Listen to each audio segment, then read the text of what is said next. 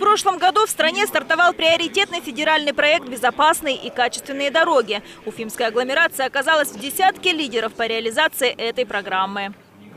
А В 2017 году мы отремонтировали более 80 километров дорог. В результате по итогам года уже около половины дорог и улиц Уфимской агломерации приведено в нормативное состояние. Реализации проекта были применены инновационные технологии. В частности, в башкирской столице впервые в России при ремонте проспекта Салавата Юлаева и трассы Уфа-Аэропорт использовался высокопрочный асфальт нового типа. Федеральные специалисты дали высокую оценку качеству выполнения работ в нашем регионе.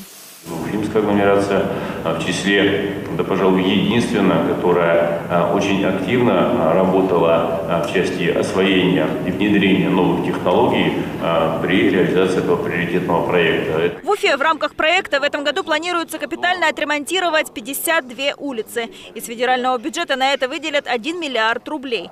Примерно столько же направит республика и более 50 миллионов рублей – столичная администрация. Наиболее значимые перспективные проекты – это продолжение строительства основной магистрали общегородского значения непрерывное движение проспект Салавата Юлаева, строительство продолжения улицы генерала Мушникова с выходом на улицу Сельско-Богородская, реконструкция улицы Комсомольская и 8 марта, строительство улицы Валерия Лисунова, строительство продолжения улицы Айской с выходом на улицу Менделеева, строительство улицы города Гали с выходом на проспект Салавата Юлаева.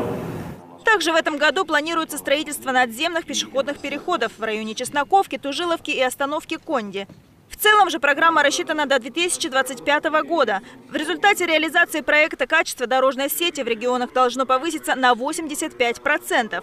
Кроме того, эксперты считают, что на три четверти уменьшится и количество аварийно опасных мест. Эрика Нажимова, Тимур Каюмов, Столичные новости. на 1 апреля